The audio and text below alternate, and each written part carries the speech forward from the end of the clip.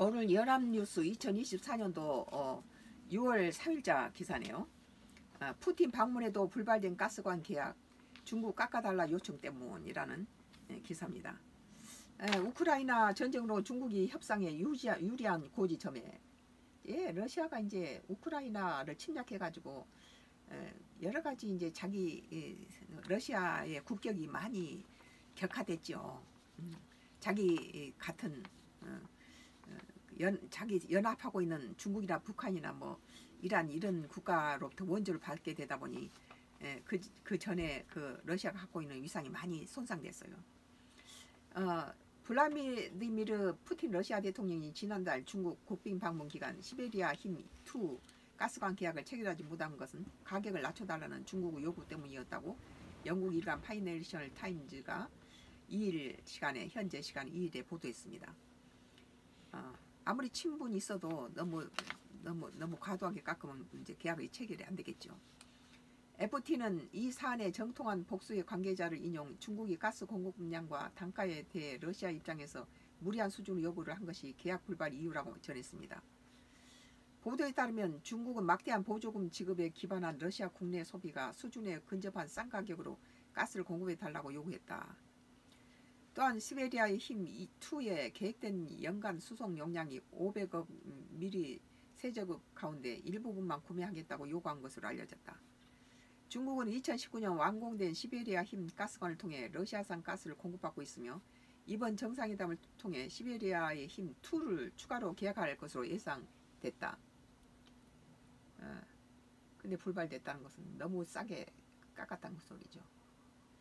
어, 이처럼 어, 중국 정부가 시베리아 힘2 예, 관련 협상에서 보인 강경한 태도는 어, 우크라이나 전쟁으로 어, 푸틴 대, 통령 시진핑 주석이 얼마나 경제적으로 의존하게 됐는지를 보여준다고 FT는 짚었습니다. 아, 저 미국하고 제재로 인하여서 뭐 나토, 유럽 연합이 다 어, 러시아의 모든 것들을 제재를 하니까 이제 중국밖에 의존할 게 없다는 소리죠. 카네기 러시아 유라시아 센터의 알렉산더 기브예프 소장은 이번 계약 불발이 우크라이나 전쟁으로 양국 관계에서 중국이 우위를 점하게, 점하게 됐다는 방증이라고 평가했습니다. 러시아가 전쟁을 일으키니까 이제 어, 저자세로 이제 이렇게 되는 거죠. 가브예프 소장은 중국은 대만이나 남중국해의 해상 분쟁에 영향을 받지 않는 안전한 공급원으로 러시아산의 가스가 전략적으로 필요할 수 있다며 그것이 가치가 있으려면 매우 싼 가격과 유연한 공급량이 필수라고 설명했습니다. 뭐 배 타고 가지 않아도 바로 육로로 바로 중국한테 보낼 수 있잖아요. 이어 중국은 시간이 자신들의 편이라고 믿고 있으면 이제 느긋하다 이거죠. 러시아로부터 최상의 계약 조건을 끌어내기 위해 기다릴 여지가 있다고 덧붙였습니다. 바쁘지 않다. 아, 너는 이제 에, 이제 바쁜 놈은 이제 러시아죠. 여러 가지 이제 에. 그는 러시아로서는 가스 수출 위한 대체로 육로가 없는 만큼 중국의 조건을 받아들일 수밖에 없을 것이라고 내다봤습니다. 러시아 국영 에너지 기업인 가스프롬은 우크라이나 전쟁 이전에는 국내 시장에 보조금을 지급하기 위해 유럽에 비싼 가격으로 가스를 판매해왔다.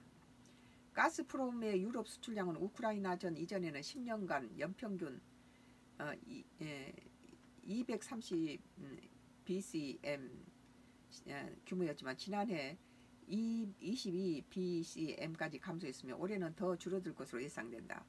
유럽으로 수출이 급감하면서 가스프롬은 지난해 25년 만에 최대 손실을 봤다.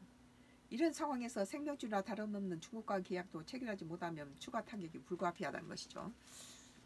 참 러시아도 뭐하기 전쟁을 일으켜서 이렇게 어려움을 당합니까? FT는 또 푸틴 대통령이 방중 기간을 요구했던 중국 은행과의 협력 제한도 예상보다 훨씬 작은 규모밖에 얻어내지 못했다고 언급했습니다. 이제 국제적 제재가 심해지니까 여러 가지 어렵겠죠. 그러면서도 러시아는 가까운 내에 합의할 수 있다고 주장하고 있지만 계약 성사는 아직 요원해 보인다고 덧붙였습니다. 크렘린궁과 중국은 이와 관련해 입장을 밝혀달라는 요청에 즉답하지 않았고 가스프롬은 요청을 거부했다고 FT는 덧붙였습니다. 어, 뭐 자기 친한 국가끼리 이제 그런 상황을 밖에 노출하는 것도 좀 꺼리겠죠.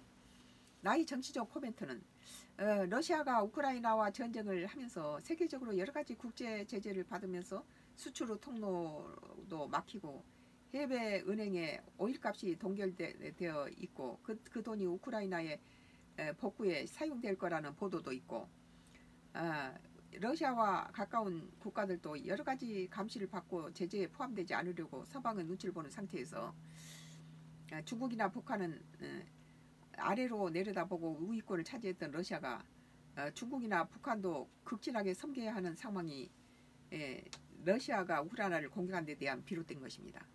그 전에는 안 그랬어요. 음.